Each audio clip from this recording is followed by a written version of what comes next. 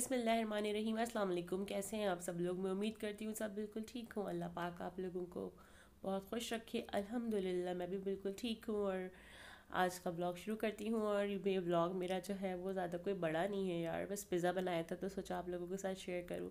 बस आजकल ना मेरा ब्लॉग्स बनाने का इतना दिल नहीं चाह रहा। मैं असल में दो तीन चीज़ों की सेटिंग में लगी हुई हूँ कि मैं किसी तरह अपने अपने ब्लॉग्स को बेहतर, बेहतरीन करूँ। जिसकी वजह से मेरे ब्लॉग्स में व्यूज़ आएँ और पब्लिक आके स्टक हो। तो उसके लिए मैं बस इस कोशिशों में लगी हूँ, इस वजह से मैं जल्दी ब्लॉग्स नहीं डाल रही, ना बना रही हूँ। और बस कुछ सीख रही हूँ, कुछ कोशिशें कर रही हूँ तो इन जल्दी वो सब कुछ करूँगी। और जो है उसके बाद प्रॉपर रूटीन से अपने व्लॉग्स डाला करूँगी, क्योंकि यार जब इतनी मेहनत करो ना और कोई रिज़ल्ट इस तरह ना मिले तो ऐसा नहीं है कि मैं बिल्कुल मायूस हो गई हूँ या कुछ भी, लेकिन मैंने ना देखा है कि किस तरह से जो अभी न्यू ब्लॉगर्स हैं, उनके पास किस तरह से जो है वो उनका चैनल ग्रो हो सकता है और हो रहा है। तो बस मैंने ये सोचा कि यार चलो मैं करके देखती हूँ कि इन इससे ही हो जाएगा। थोड़ी सी अपनी जो है ब्लॉगिंग को इम्प्रूव करने के लिए तो इन वो कोशिश करूँगी मैं अब। तो उसके बाद डेली डेली डाला करूँगी। अभी जो है मैं ज़रा सा स्लो हो गई हूँ। खैर, शुरू कर रही हूँ अपनी रेसिपी तो ये मैं बना रही थी पिज़्ज़ा जो कि मैं मुझे कोई इतना अच्छा बनाना नहीं आता। बस मैंने जो है वो डो ले ली थी रेडीमेड और उसी में मैं जो हूँ वो पिज़्ज़ा बना रही थी। वैसे तो मैंने डो पहले भी घर में बना के बना चुकी हूँ मैं पिज़्ज़ा, लेकिन मुझसे ना डो इतनी अच्छी नहीं बनी थी तो मतलब ना शेप उसका अच्छा नहीं आ रहा था और थोड़ी वो मुझसे बस पतली सी हो रही थी तो मैंने नहीं बनाई नेक्स्ट टाइम मैंने कहा, अब इसको अच्छा सा सीखूँगी पहले, फिर बनाऊँगी। तो ये तो मुझे जल्दी से बनाना था और जो है लंच में मैंने बना लिया था। दो चीज़ मैंने क्रश कर ली, सारी वेजिटेबल्स वेजिटेबल्स जितनी भी चाहिए थी इसके लिए वो मैंने पहले से कट कर ली और मैंने ये डो देख लिया अपनी। जल्दी जल्दी से डो निकाल लिए मैंने और बस मुझे लगता है कि जो है ना, लोग कहते होंगे, यार, ये तो पैकेट से मसाले यूज़ करती है और बस ये डो भी, इसको तो बस जल्दी से सारे काम करने होते हैं ना। तो भाई बच्चों के साथ तो आपको जो शॉर्ट हो ना, वो करना पड़ता है। फिर भी इतने काम होते हैं पूरे दिन कि अगर मैं आप लोगों को पूरे दिन की ब्लॉगिंग दिखा दूँ ना अपनी तो बस सिर्फ़ काम ही काम होते हैं यार, और कुछ नहीं होता, माशाल्लाह बच्चों के साथ। खैर, अब जो है ये डो हल्की हल्की से मैंने हल्का सा ऑयल करके ना तवे पे इसको सेक लूँगी, उसके बाद इसके ऊपर सारी जो है वो अपनी इसके फिलिंग कर दूँगी। पहले मैं पिज़्ज़ा सॉस लगा दूँगी। पिज़्ज़ा सॉस मैं शंगरीला का लेती हूँ, मुझे बहुत मज़े का लगता है और ये बहुत अच्छा टेस्ट होता है इसका।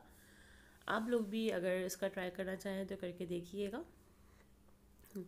साथ ही जो है मैं इसके ऊपर पिज़्ज़ा थोड़ी सी चिकन डाल दूँगी, फिर अपनी वेजीज़ में मैं इसमें प्याज और टमाटर, शिमला मिर्च ऐड करूँगी। वैसे तो जो चाहे वो ऑलिव्स भी ऐड कर सकते हैं। मुझे ऑलिव्स मशरूम्स ये सब नहीं अच्छे लगते तो मैं नहीं डालती। और मेरे हस्बैंड भी इतने शौक से नहीं खाते तो हम लोग नहीं यूज़ करते। साथ में मैं इसके ऊपर चीज़ डाल के और बस अपना जो है ऑर्गेनो डाल दूँगी। और इतना इजी पीजी सा मेरा पिज़्ज़ा है। ये मैंने बहुत आसान जो है वो एजाज़ अंसारी से ही सीखा है। उन्हीं की सबसे आसान रेसिपी थी पिज़्ज़ा की जो मैंने सीखी थी रमज़ान में और भी मैंने बनाना शुरू कर दिया घर में। बस हम लोग जो है इसको एक मैं तवे पे बनाती हूँ और एक मैंने, दो मैंने ओवन में बनाए थे। जो तवे पे बनाया था ना उसका ये इशू हुआ था कि वो ना थोड़ा ज़्यादा से वो क्रिस्पी हो गया था और ओवन वाला आपका सॉफ्ट था तो बस इस वजह से मैंने दोनों तरह से ट्राई कर लिया था। सारी फिलिंग मैंने कर ली है, साथ में मैंने ऊपर ऑर्गेनल डाल दी हैं, चाहे तो आप लोग चिली फ्लेक्स भी डाल सकते हैं, अगर आप लोगों को स्पाइसी पिज़्ज़ा चाहिए तो आप चिली फ्लेक्स ऐड कर लें। देखिए मैंने पतीली जो है इस पर रख दी, और अब जो है मैं एक माइक्रोवेव वाला जो है अपना ऐड करूँगी इसके अंदर। और ये देखिए मेरा जो है ना, जब मैं एडिटिंग कर रही हूँ ना अभी तो मुझे नज़र आ रहा है कि मेरा जो वायर है ना मैं वो ट्राईपॉड का वो नज़र आ रहा है। बस यही तो मेरी थोड़ी थोड़ी जो मैं चाहती हूँ कि ये सब इम्प्रूव हो जाए, लेकिन ये पता नहीं क्यों मुझे सही पता नहीं चला। और अब यार इसको क्या डिलीट करती, क्या हटाती तो मैंने चलो सोचा चलो कोई बात नहीं, इंशाल्लाह नेक्स्ट टाइम जो है वो उसका ख्याल रखा जाएगा। और जो है, साथ में जो है मैंने इसके बच्चों के लिए जो है ना बिल्कुल प्लेन बना दिया था मना के लिए, क्योंकि वो तो भाई लेके ऐसे बैठी है। अभी आप लोग आगे वीडियो में देखिएगा, जिससे सब उसको ही खाना है, लेकिन उसने कुछ भी नहीं खाया, बस वो थोड़ा सा जो मैंने सादा बना दिया था लेकिन मेरी हेल्प करवा रही है। कि मम्मा ये डाल दो, ये डाल दो। तो बस वो छोटी जो है ना, मैं उसको कहती हूँ तुम मना, जल्दी से थोड़ी सी बड़ी हो जाए ताकि थोड़े थोड़े काम मेरे साथ करवाती रहो।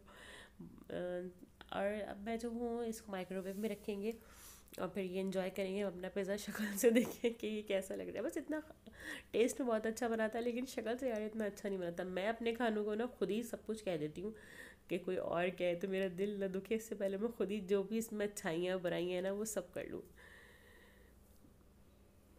और अपने माइक्रो मैंने इसको जो है वो टू मिनट्स पे लगाया था तो ये अच्छी चीज़ टू से भी कम ना टू भी मिनट्स पूरे नहीं हुए थे तो ये अच्छी तरह चीज़ जो है मेल्ट हो गई थी। और बहुत मज़े का ये पिज़्ज़ा बन गया था। और यहाँ जो है मैं पतीली वाला पिज़्ज़ा भी आप लोगों को दिखाती हूँ। देखिए, ये ऐसा बन रहा है। और ये भी बहुत अच्छा बना था। बस इसमें ना क्रिस्पी ज़्यादा हो गया था से बोलते डो और वहाँ से वो है वो माइक्रोवेव वाला सॉफ्ट था। यहाँ पे बैठे हुए मेरे बच्चे और हस्बैंड जो है वो गॉसिप्स कर रहे हैं, मज़े, और ये देखें जब मना जो है ना वो दोपहर में अक्सर सो जाती है कभी कभी ऐसा दिन होता है जो सो जाती है तो ये ना अपने बाल नहीं बनवाती। इतना रोती है, इतना रोती है कि बस मुझे नहीं, मुझे अब सर्दियाँ हैं ना तो अब इसको और दर्द हो रहा है बाल बनवाने में, क्योंकि वो बाल जो है बिल्कुल ड्राई से हो जाते हैं। आज मैंने इसकी बहुत सारी ऑयलिंग करी है, अब इन जो है मौसम ऐसा है कि इसकी रोज़ाना ऑयलिंग करने का टाइम आ चुका है। और ये देखिए बलून्स जब बच्चे घर में हो तो हर तरफ़ टॉयज़ बलून्स बॉल्स और ये बियर्स ये सब पड़े रहते हैं। मैं इतना पूरे दिन समेटती रहती हूँ, लेकिन ये फिर भी हर थोड़े दिन के, देर के बाद आके बाहर निकल जाते हैं। आज जो है मेरी वॉइस ओवर भी आप लोगों को थोड़ी डर लगेगी, क्योंकि यार इस वक्त मैंने फजर की नमाज़ पढ़ी है और बस हिम्मत करके मैं बैठ गई हूँ कि नहीं, मैं वॉइस ओवर करूँगी, फिर मैं जाके सोऊँगी।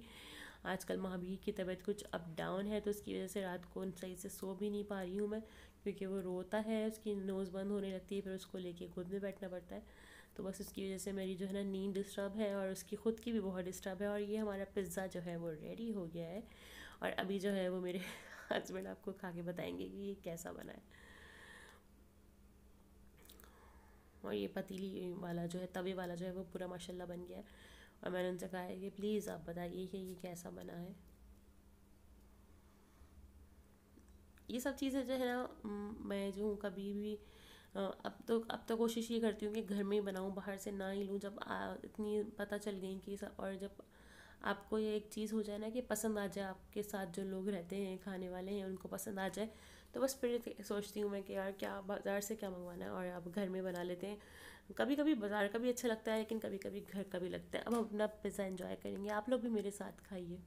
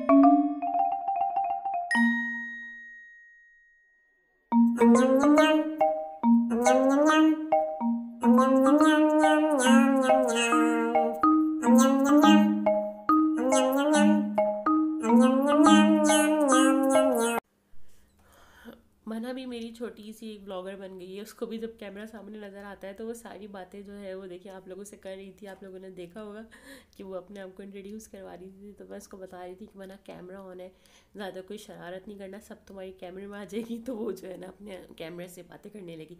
तो बस उसके बाद मैंने ग्रीन टी जो है, वो अपने लिए बना ली है, और बस फाइनली मैं अपनी ग्रीन टी इन्जॉय करूँगी। थोड़ी देर अकेले खड़े हो गए लेकिन बच्चे मेरे पीछे पीछे आ ही जाते हैं और ये मेरे घर के मैट सारे महावीर जो है वो इधर उधर अपनी वॉकर से जाता है, इधर से ख़राब करता है, उधर से ख़राब करता है।